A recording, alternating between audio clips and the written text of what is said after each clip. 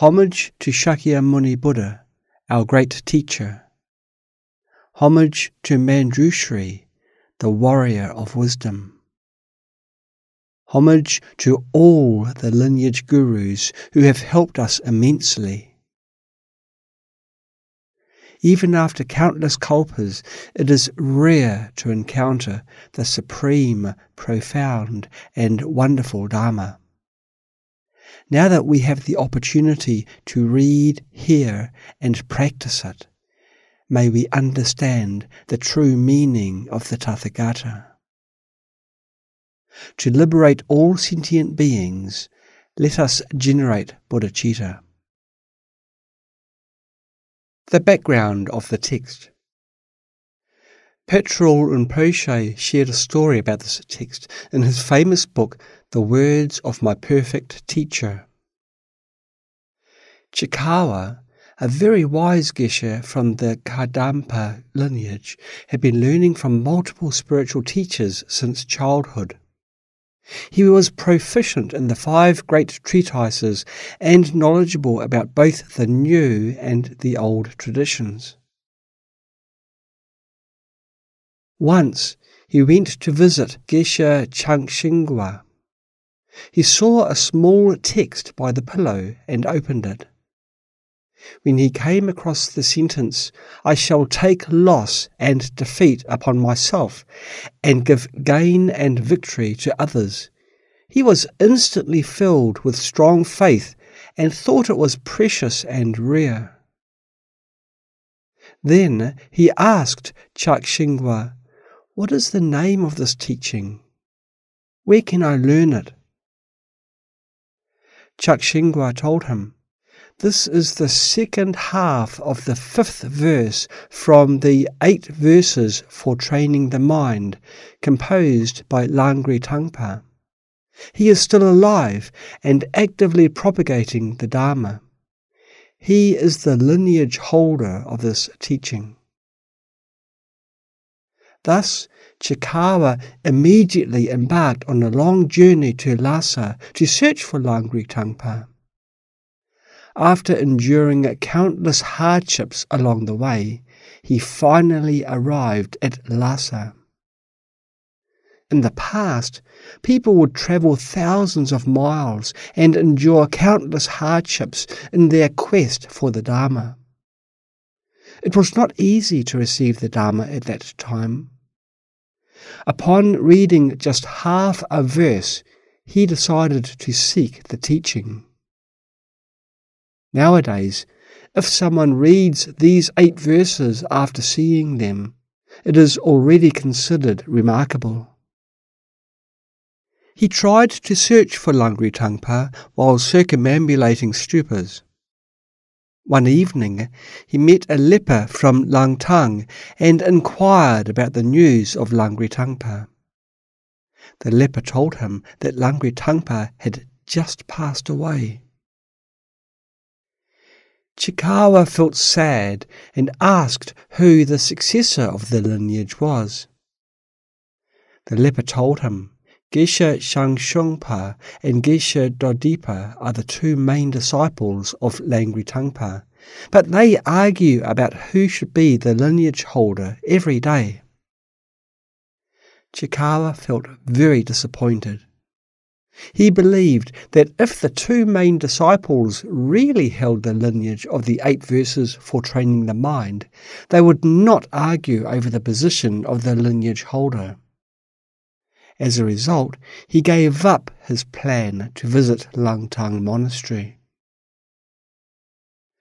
However, in reality, the two geshes were not competing for the position of lineage holder, but endorsing each other. Shang Shanpa told Dodipa, You are older. You shall be the lineage holder.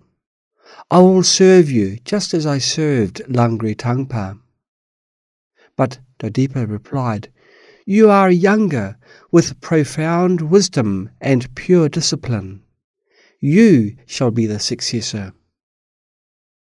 The two great masters engaged in a disagreement out of humility Unaware of the situation, the leper unintentionally caused Chikawa to misunderstand them. Later, Chikawa heard that Geshe Shirawa was the genuine holder of the teaching, so he went to learn from him. At that time, Shirawa was very renowned and gave Dharma teachings to numerous disciples every day. However, after studying with Shirawa for a while, Chikawa did not hear a word about the teaching he sought. Feeling dissatisfied, Chikawa began to doubt whether the teacher had the lineage of this teaching. Once, when Geshe Shirawa was circumambulating a stupa, Chikawa spread his cloth on the road and invited Shirawa to sit. Sharawa replied, I'm not used to sitting outside. I will return after completing my circumambulation. If you have something to ask, please go ahead. Chikawa asked, I read these words I shall take loss and defeat upon myself, and give gain and victory to others. Is this a profound teaching or not? Sharawa replied, This teaching can be both profound and not profound. If you aspire to attain Buddhahood in this very life, this teaching is profound. However, if you don't have such aspirations, this teaching may not be considered important or extraordinary. Do you hold this teaching? Chikawa asked. Yes, it is my main practice, Shirawa replied. Could you teach it to me? Chikawa asked. If you can stay with me for a long time, perhaps I will teach it to you, Shirawa responded. Hence, Chikawa stayed with Sharawa for six years and finally received the complete transmission of the eight verses for training the mind. Through dedicated practice, he eventually eradicated all attachment to I and mine. What do you think after hearing this story? In the past, it was not easy to seek the Dharma, and teachers wouldn't impart teachings to students lightly. In fact, there are benefits to raising the bar for receiving the Dharma. If a teaching is obtained with great difficulty, you will practice it. If it is easily obtained, some people may not practice it and think that what comes easily is not valuable. If it takes a lot of time and effort, especially if you have to spend lots of money, such as gold and silver, to obtain a teaching, you will practice it earnestly. However, if a teacher gives a Dharma teaching to you for free, you may think it is nothing and not cherish it. Today, we shared this story to remind you to cherish the Dharma. Although I don't charge you, you should value this teaching. It is very profound. This is how people in the past sought the Dharma. Staying with the teacher for six years means serving him for six years, and only then would the teacher gradually transmit the teaching to him. Why did the teacher do this? It was to observe whether the student had faith even if the teacher transmits a teaching to you, if you lack faith, you won't make progress through practicing it. The teacher is not stingy with the teachings. Many people don't understand and think, is it necessary to set such a high threshold for receiving the Dharma? Well, this is not the case. The teacher's main purpose is to observe whether the student is qualified. Even if the teacher transmits a teaching to you, if you are not a qualified disciple, you won't succeed in practicing it. This message is crucial. If you are not a qualified disciple, you won't successfully practice the teachings you receive. You will encounter obstacles and find it difficult to continue. Even if you receive a teaching, you may feel that it came too easily and cannot accomplish it. Therefore, first and foremost, you need to possess the qualities of a disciple and accumulate sufficient merits. Only then can you make progress through your practice. This is my profound experience. It is not because the teacher is stingy, like those who withhold martial arts skills for their own benefit. Those who have generated bodhicitta won't act in such a way. They are eager for others to progress faster and better than themselves. The author of the text. Geshe Langri Tangpa from the Kadampa lineage was one of the two main disciples of Geshe Potowa, who was one of the six senior disciples of Lama Atisha. Lama Atisha had six highly accomplished disciples. Langri Tangpa was one of the two main disciples of Geshe Potowa, who was one of the six senior disciples of Lama Atisha. Therefore, Langri Tangpa was Lama Atisha's grand disciple. Langri Tangpa once made an aspiration May I benefit sentient beings in the appearance of a monk in all my lifetimes. Then Palden Lamo, glorious goddess, a Dharma protector, also made an aspiration.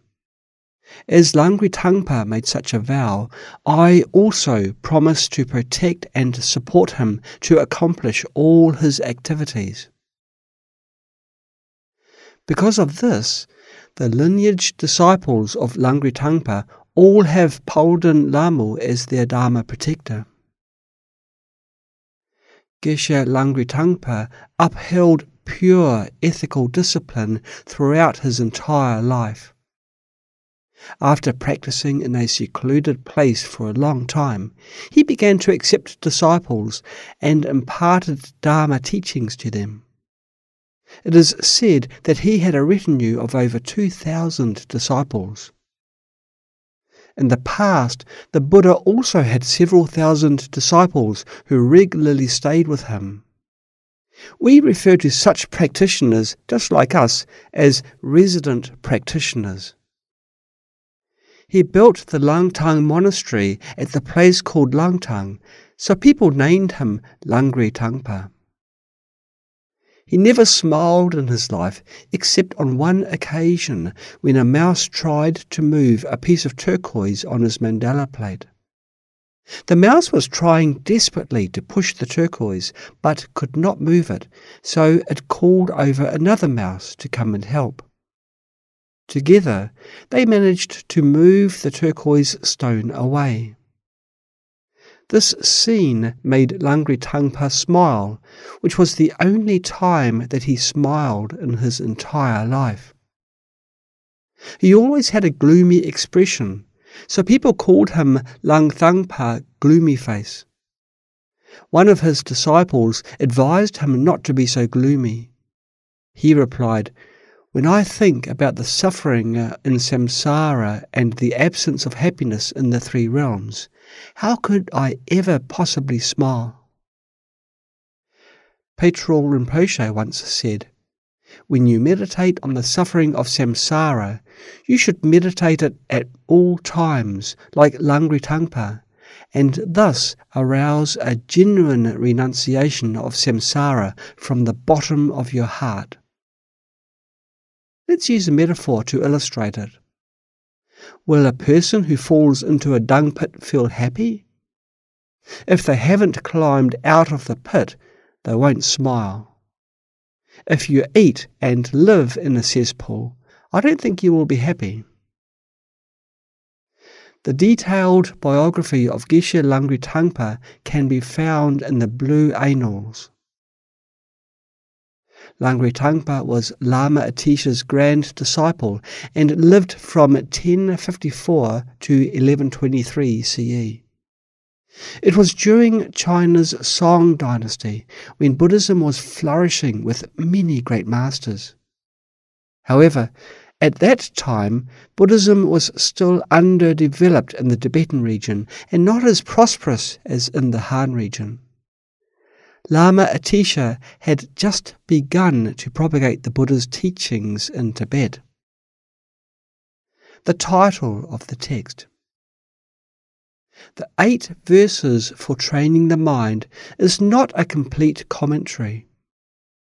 According to the defined structure of Buddhist scriptures originated in India, a special feature of a Tripitaka text is to have a homage verse at the beginning and a dedication verse at the end. This feature can be used to differentiate the Buddhist scriptures from non Buddhist ones. Based on the homage verse, we can also tell if the text belongs to the Sutra Pitaka, Vinaya Pitaka or Abhidharma Pitaka, the tradition and deity of the author, etc. However, this text has neither a homage verse at the beginning nor a dedication verse at the end. Therefore, we can infer that it might be a pith instruction on mind training of Langri Tangpa. Mind training means observing and cultivating one's mind. Patrul Rinpoche said, Mind training is about cultivating one's own mind. If you cultivate your mind with the four thoughts of renunciation, even if you haven't done virtuous deeds with your body and speech, apart from liberation, you will not reach anywhere else. Therefore, mind training is the most important practice in Buddhism. The eight verses in this text are eight key instructions of Mahayana practice. In other words, the Bodhisattva vows, as well as their cultivation tips, are encompassed in these eight verses. This text was composed based on the Bodhicitta Pith instructions of Lama Atisha and Geshe Potowa. These eight verses look independent, but are in a specific order, forming a complete mind training system. They may appear as eight separate verses, but are actually step by step. Now, let's begin to study this text.